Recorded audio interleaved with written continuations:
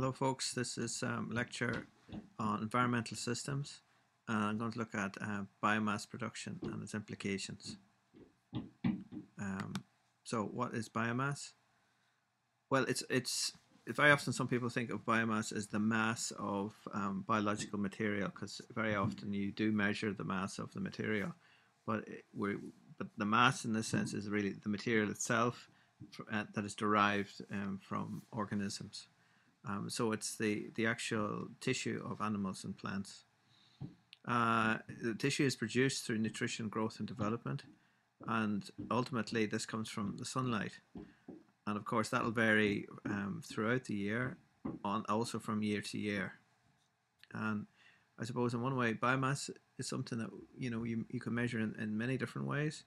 Um, like when you when you count tree rings, you're looking at a very kind of uh, rough uh, version of um, a biomass measurement, where the thickness of the ring um, gives an indication of the, the biomass production for that year, and and that can lead to a lot of other uh, inferences that can be made about the environmental um, parameters that were different for a particular year.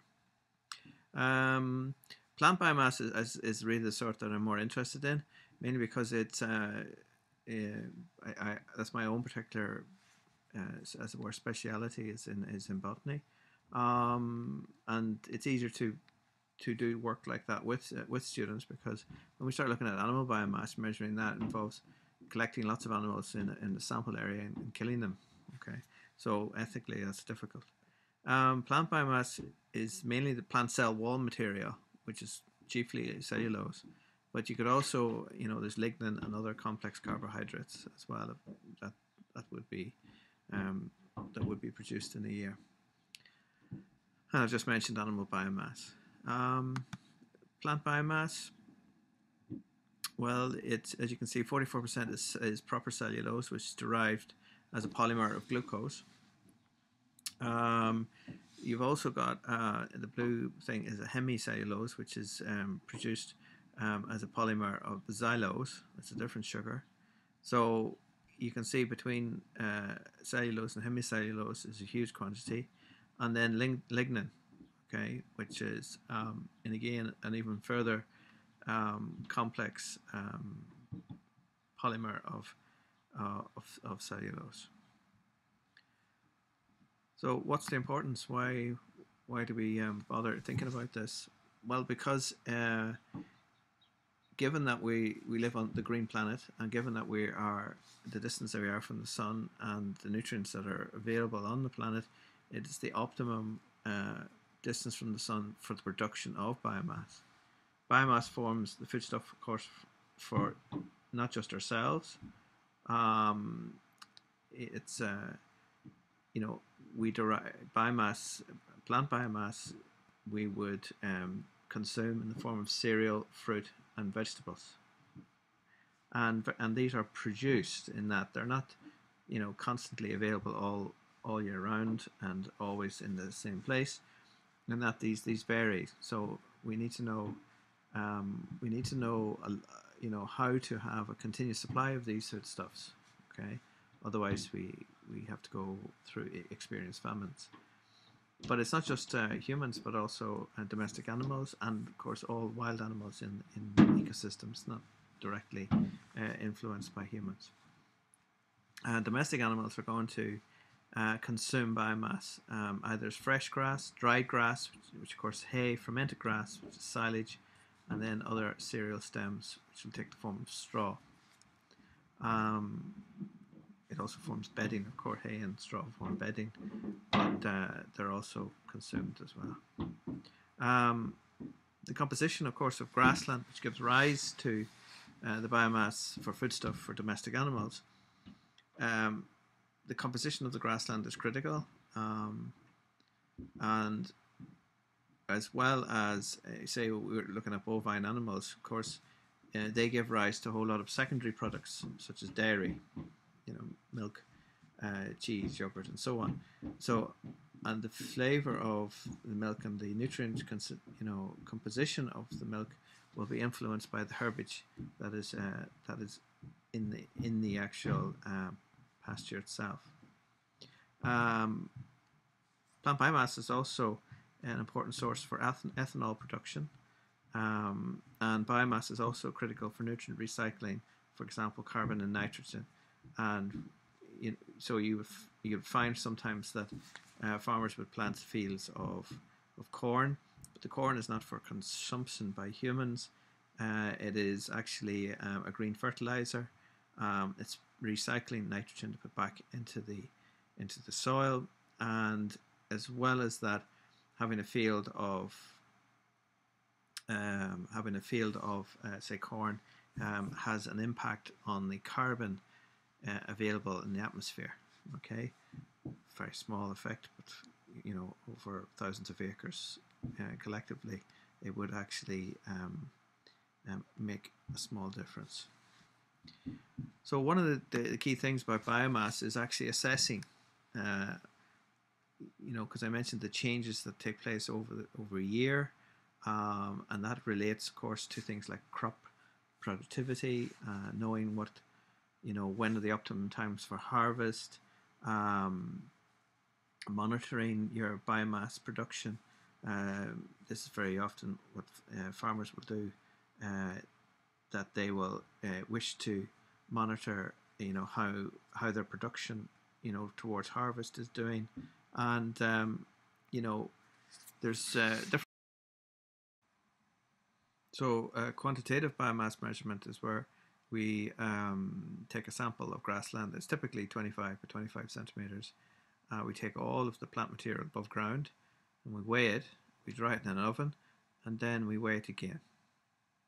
Um, and then, of course, there's a combined uh, method where we will actually measure the biomass, okay, uh, but we'll separate it by species composition. Uh, we can also do above and below ground, and we can combine that also then with soil analysis. So, uh, the technique that uh, that we typically then follow is we select a series of sample sites, and in, in what we did was is we were selecting sites close or under tree canopies and so the objective of the study might be to examine ground mass, biomass production at the woodland grassland interface, uh, which is obviously an interesting. Um, it's a, I suppose it's an ecosystem in itself, and there are species of wildflowers which uh, specifically are adapted to, to, that woodland grassland interface. Um, if we think of um, buttercups, for example, or the members of the Ranunculaceae family, uh, meadow buttercup and creeping buttercup are are open, uh, open. I would say open air, non-woodland plants, and then lesser celandine is um, a deciduous woodland member of the family, and then um, Goldilocks then will be a plant specifically adapted to the woodland grassland interface. Um, as you okay, as you go out into the open, um, if the grassland is is not uh, is a mixed grassland, maybe a wet grassland, you know, creeping buttercup uh, and some meadow buttercup will be uh, dominate. But when we get into dry grassland, uh, then you get um, the meadow buttercup will be the, the, most significant. So you can actually just in one mem- one family, we can look at four different members of that family. That's lesser celandine, it's Goldilocks, it's creeping buttercup, and meadow buttercup, and those four will will dominate uh, at different times in the year, but also in location, depending on the availability of light, which is the key thing, and also competition from other uh, grasses. So we remove all the plant material within 25 by 25 squares within the sample sites, and we weigh the material. We place in the oven 80 degrees for three to four days, and then we weigh it again and we can repeat that depending on. Uh... So I'm just cutting off the all of the uh, green material, organic material, leaf litter. The, surface in a 25 by 25 uh, quadrant. And this is just to work out plant biomass. So I'm trying not to collect any wood lice I come across. Away lads. Okay. We cut it right down to the roots.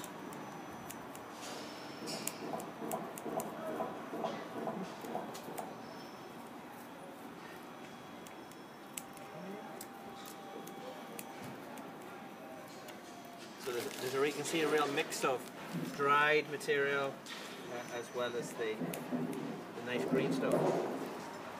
Take all, it's all the biomass, as much as possible.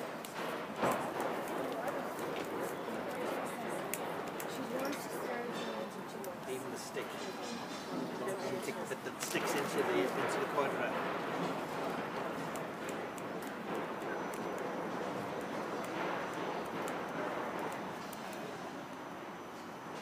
And then there, these are buttercup stalks. They're coming too. There they are. Dried grass. Really is dried in.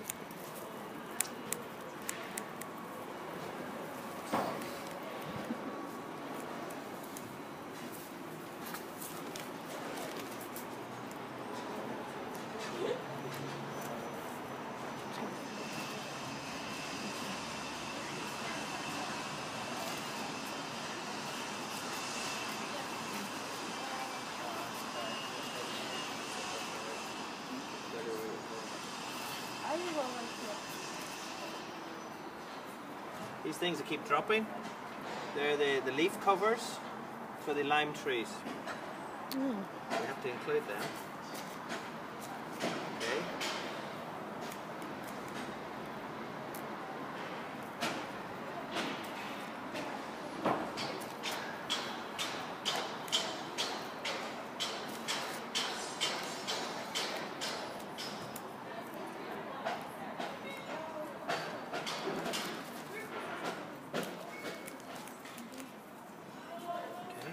Okay. There's still more dusty stuff there. I'm not, I'm not going to go mad at it. So, so that's our that's our surface biomass.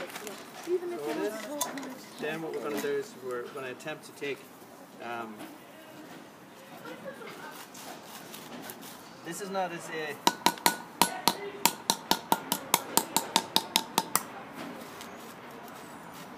We don't have to fill the whole thing. We just have to uh, get it core because I can tell you now we're not going to because of the stones and everything in here. Like look at the size of this thing. You know. And uh, interestingly, it's a piece of oyster shell. So you can, you can work out why you think that's here.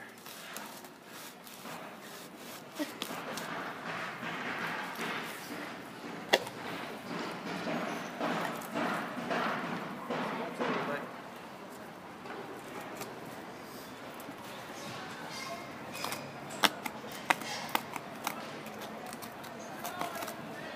That's only about a centimetre and a half, two centimetres.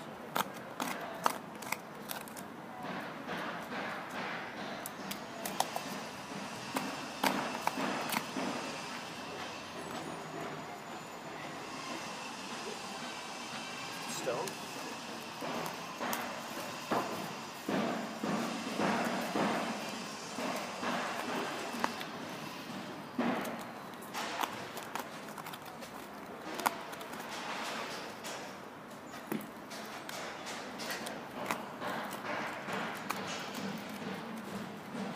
So, so the key thing here, okay, is just to mark the level of the ground, deep we've gone. Four and a half centimeters, okay, and that's our core. It's not, it's not great. That's because of the stones ground, and that's our core. And that's it. That's how we're going to measure the the total uh, the total plant biomass. Okay? Because we're only interested in the roots rather than the soil. Okay? Location. So uh, there's himself measuring the sample area and removing the above ground biomass. And you take down all of the uh, the root material and the dead plant material that is above ground until you've got bare soil. Okay. Uh, the other thing I think we did as well is is that we took a core of about four centimeters using um, using a can, and uh, we that's taken as a subsample. And of course, you you measure your volume of soil because it's um, pi r squared h is the formula used, and uh, you can then separate out if you want the below ground biomass, roots and so on, uh, from the soil. Uh, usually that's done by washing. Uh, you place the material in a sieve and you wash the soil through, and and then you repeat. You dry, you dry the the the biomass below ground biomass and you measure and so on. Um, so your results um, uh, will be uh, weights, and uh, you can compare with other locations as we did, uh, as opposed to times of the year. If you're monitoring uh, your ecosystem, it's more it's more times of the year at different locations that you're going to be doing. Uh, typical results then. Um, so here's uh, here's uh, three sample sites, and they're completely different. So they are. And what you see, for you know, I start with them. For me, the more, most interesting one is the is the grey one, which is sample site three, and it is diminishing from May all the way through to September.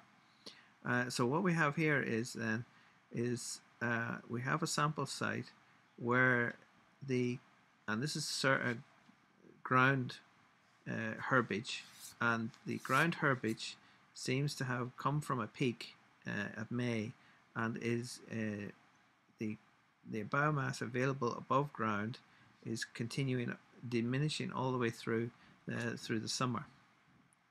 So this is uh, uh, this strikes me that this is um, a habitat where the maximum amount of material has has been produced in particular, and I'm thinking of say a, a woodland where there is um, say a lot of um, um, members of the onion family, bulbs like daffodils and bluebells and, and so on. And once the, the, the, the leaves come on the trees, they you start losing um, uh, you start losing your your your light and the nutrients uh, diminish, uh, and that's why you have a loss of biomass to a minimum around uh, September. Um, the blue, you can see then the whole thing it peaks uh, in August at some stage, okay, and that would be typical of say an uh, open uh, grassland going for hay production, um, where you you you have and you can even think of it in terms of the height of plants. So they go from say seedlings towards the the mid to um, early May, and they're you know can be up to half a meter, if not more, depending on whatever crop it is. Um, by the time August comes, and then they're harvested, and then they fall off very quickly uh, in August, depending on the uh, because even if you leave it standing, then you have a crop uh, deteriorating uh, and uh, and then we have uh, sample site 2 is, um, is interesting because we have um, a downward from May to June and then upward from June to July. What we what this would indicate to me is um, different species are, are successively uh, becoming dominant one after the other. And this is the concept of succession in ecology. Um, now, a graph, if you do um, just an overall uh, total biomass, it doesn't tell you anything about composition. So, it, in the sample site 2, what you would need to do is, is you'd need to do a separate biomass measurement for each species, and that would give you a much more interesting picture. Okay, so this is um, just to uh, sum up then. The, um, the key thing here um, is that biomass is basically is where I'd say most of our food comes from, either uh, primarily in the form of um, cereals, fruit, fruit and veg, and but also secondarily actually through meat and to dairy. Um, it's the main uh, foodstuff then obviously for domestic animals, okay, uh, but it also is the a huge foodstuff also for the uh, primary consumers in, in most ecosystems. Okay, so we've got um, much of the uh, the heterotroph um, uh, nutrition is going to come from plant biomass. Okay, uh, humans also have gone on and then deliberately use uh, plant biomass for, say, something like ethanol production for as a, as a fuel, but also then to um, to do some kind of atmospheric um, uh, manipulation for carbon uh, carbon cleaning, we could say, or nitrogen fixation. Uh, and the key thing, I suppose, with biomass is is that uh, it's uh, it's we can the emphasis that I'm bringing up here is that it is used um, as a form of monitoring. So we can monitor grasslands by uh, qualitative and quantitative biomass production.